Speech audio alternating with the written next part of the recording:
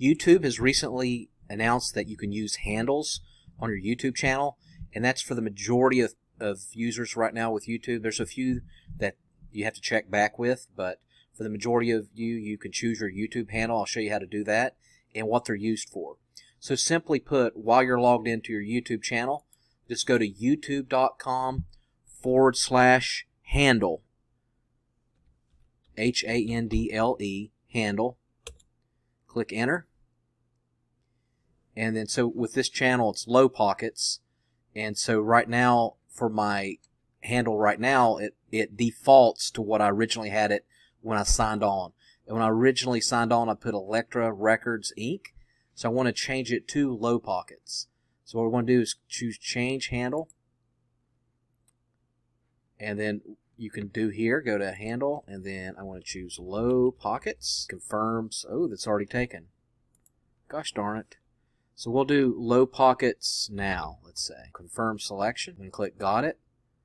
So now anybody that uses low pockets now, they can do at low pockets now, and then it'll automatically put me in search. It'll communicate to me. So for example, you can use at whatever username on YouTube that you use. So for example, with Mr. Beast, let's go ahead and go to my channel now.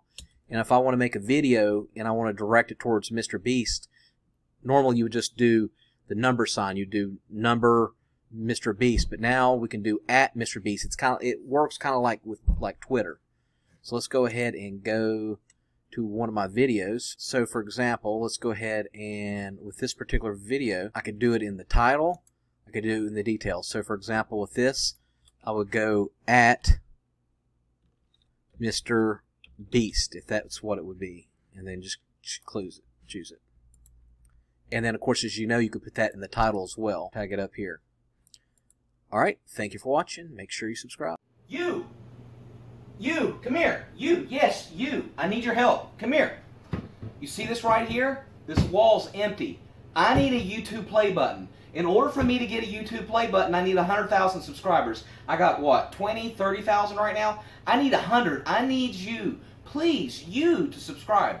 You think my subscription doesn't help? Yes, it does. I need 100,000. I need, I visualize. I visualize what I want in this world. And what I want is a YouTube play button. I want a YouTube play button, and I need you to subscribe. You can help me. You can make your dreams come true. Just visualize it. Whatever you want in this world, you can have. You can have all your dreams come true. I want you to help me make my dreams come true. All right? So please, please subscribe.